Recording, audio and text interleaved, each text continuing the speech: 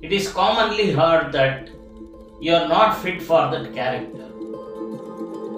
No character suits for any actor.